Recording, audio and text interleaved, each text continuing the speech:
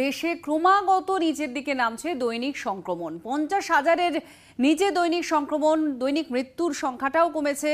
দেশে একদিনে আক্রান্ত আটচল্লিশ হাজার ছশো আটানব্বই জন আর চব্বিশ ঘন্টায় দেশে মৃত্যু হয়েছে এক হাজার একশো তিরাশি জনের। ছলাকের নিচে নামলো সক্রিয় রোগীর সংখ্যা।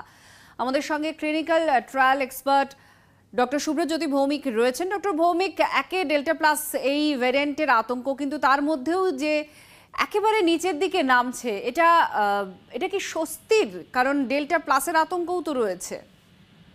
না, এটা একটা ইতিবাচক খবর। অবশ্য এই খবরটা শুনে আমরা যদি ঢিলেমি শুরু করে দিই, যেটা আমরা কিন্তু দেখতে পাচ্ছি রাস্তাঘাটে ইতিমধ্যেই লোকজন অলরেডি মাস্ক পরাটা ছেড়ে দিয়েছে এবং শারীরিক দূরত্বটা একদমই বজায় রাখছে না। তাহলে কিন্তু এই ডেল্টা প্লাস ট্রেন, যেটা কিন্তু আমাদের একটা বারে বারে বলছে যে তার সংক্রমণ করার প্রবণতা অনেক বেশি প্রবল, সেটা কিন্তু আমাদের মধ্যে ছড়িয়ে পড়তে পারে। তাই সাধারণ মানুষকে আমি বারবার বলব যে, এখনও চল্লিশ হাজার প্লাস কেসেস হচ্ছে। এটা ভাবতে যে, এখনও ইনফেকশন কিন্তু পুরোপুরি আমরা মুক্ত হইনি। কোভিড কিন্তু আমাদের ছেড়ে যায়নি।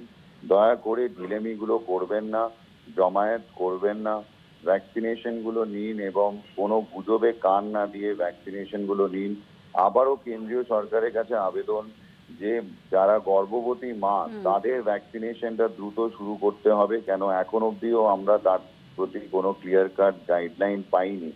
এটা হলে আমাদের অনেক গর্ভবতী মারা তারা কিন্তু তৃতীয় ওয়েভ যেটা আমরা এক্সপেক্ট করছি আসতে পারে যে কোনো মুহূর্তে তার থেকে কিন্তু রক্ষা পাবেন।